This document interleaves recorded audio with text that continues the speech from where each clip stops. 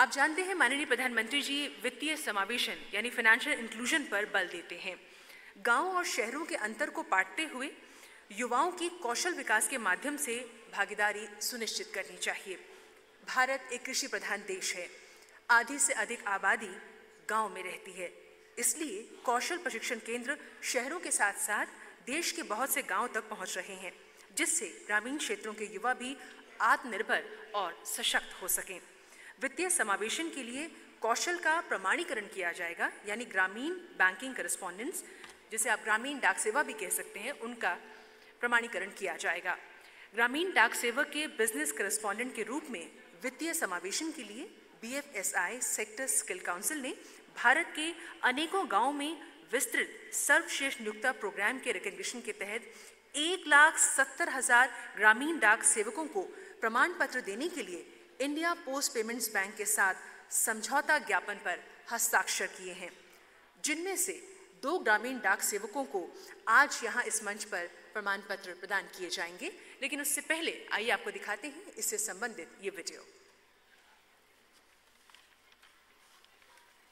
India post payment bank के माध्यम से देश के लगभग डेढ़ लाख डाकघरों को बैंकिंग सेवाओं के लिए तैयार किया जा रहा है।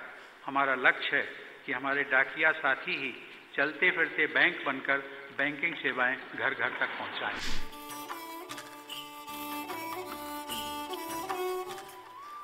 सूरज की शहर के कॉलेज में पढ़ाई कैसे चल रही है? अभी एडमिशन के लिए पैसे भेजे थे। बोल रहा था पढ़ाई अच्छी है कॉलेज की।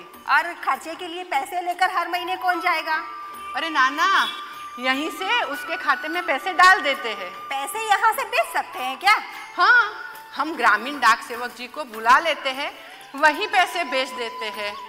आईपीपीबी की जगह कोई और खाता हो तो भी भेज सकते हैं। इंडिया पोस्ट पेमेंट बैंक के लिए B F S I S S C अग्रिम शिक्षण प्रशिक्षण को मान्यता प्रदान करने का कार्यक्रम आयोजित कर रही है।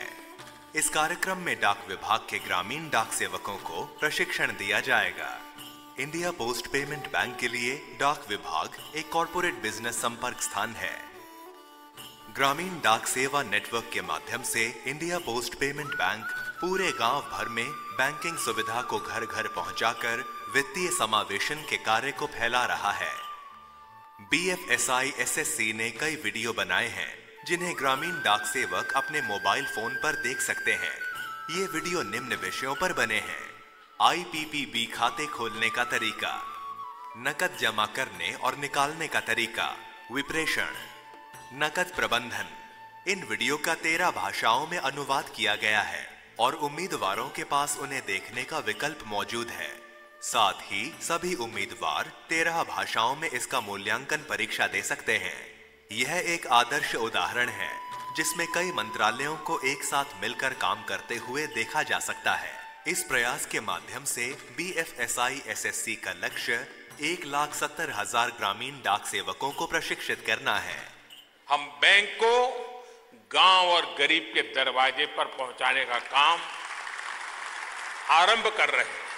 और हमारी चिट्ठियाँ लेने वाला डाकिया, अब चलता फिरता बैंक भी बन गया है।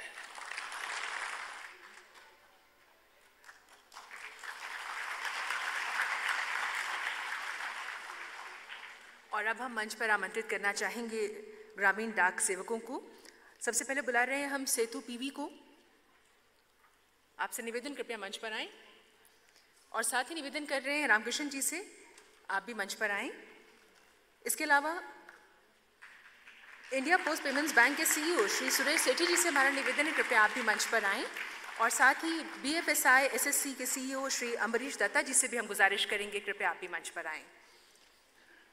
और अब हम, हमारे आज के कार्यक्रम की मुख्य अतिथि माननीय केंद्रीय वित्त मंत्री श्रीमती निर्मला सीतारमन जी से निवेदन करेंगे। कृपया आप प्रमाण पत्र में प्रदान करें।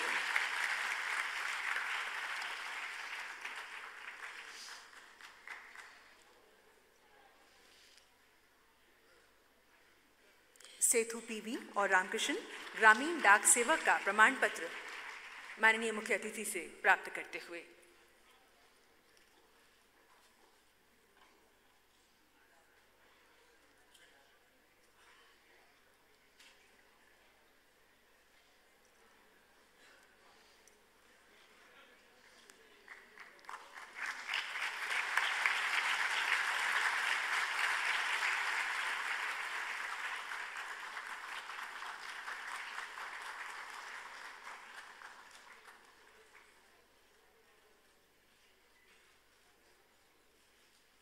बहुत बहुत धन्यवाद माननीय मंत्री जी, और आप दोनों को बहुत बहुत बधाई।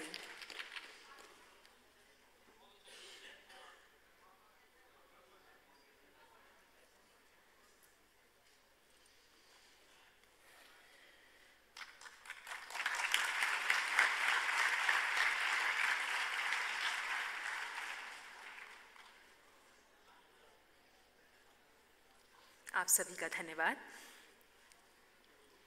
केंद्रीय कानून व न्याय और संचार, इलेक्ट्रॉनिक्स एवं सूचना प्रौद्योगिकी मंत्री श्री रविशंकर प्रसाद जी, जो लगभग पाँच दशकों से सामाजिक जीवन में सक्रिय हैं, जिनके व्यक्तित्व, कृतित्व, योगदान एवं जीवन यात्रा से हम सब भलीभांति परिचित हैं। 2014 में आरंभ हुए डिजिटल इंडिया प्रोग्राम की सफलता का श्रेय माननीय मंत्री जी को ही जाता है। ब्रॉडबैंड इंटरनेट के विस्तार और देश में